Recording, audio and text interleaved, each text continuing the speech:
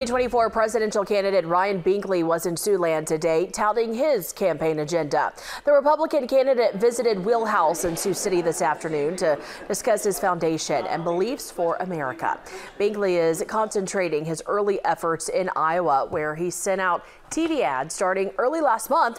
Today, Binkley talked more about the 2020 election, where he says 70% of Americans ages 18 to 24 voted Democratic. He has expressed concern about the promises Democratic candidates have made to sway Gen Z voters. We have to be honest with young people, college students, of what debt means to their future. A lot of politicians are trying to buy their vote today at their children's expense in the future. So what's a benefit now, which may be tuition or whatever, that could cost them greatly 20 or 30 years from now, and we just have to be honest about that. Binkley will continue his campaign tour through the state of Iowa. He did make a stop by KTIV this afternoon to talk more about his platform and why he wants to lead America. And so let's get straight to it. Let's talk uh, presidential 2024 run. Uh, why do you want to be president? Well, thank you, Jessica. I'm running for president because our country is really broken. It's broken culturally. You know, we're in the greatest point of division in my lifetime. Uh, we're really broken financially as well. And I really believe, with my background as a businessman and a pastor, I'm coming with a different message. So I'm really calling our, our country to unify to solve our biggest problems that we have together.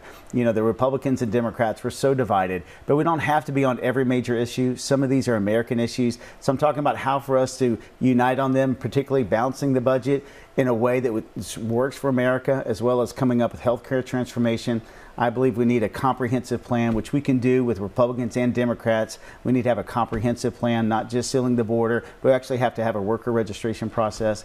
And lastly, we want to revitalize urban America. We want to challenge young people to serve again in our country. You know, we haven't ha- we haven't had a volunteer movement in our country since the 60s and 70s of the Peace Corps. We want to start a volunteer movement with education and revitalize urban America. Okay, so transform healthcare. I know that's been a big push of yours. Expand on that. Yeah. So right now, competition in healthcare is just non-existent or not what it needs to be. We need to make price transparency available. We need to allow insurance companies to compete across state lines and actually put the patient back in charge. And so many patients don't know what it costs when they go in to see a doctor today. We need to just bring competition back. Social Security.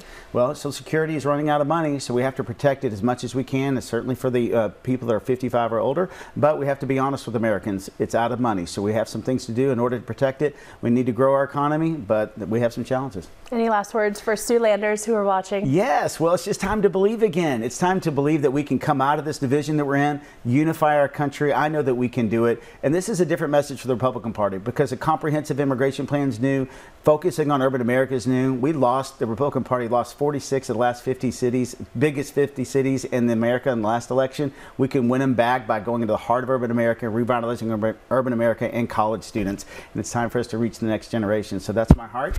And um, I'm just asking for that. So Binkley2024.com. If you'd like to uh, see us on the debate stage, it's just a $1 donation. We need 40,000 unique donors. So please go there and check it out. All right. Thank you for being here with us today. Thank you.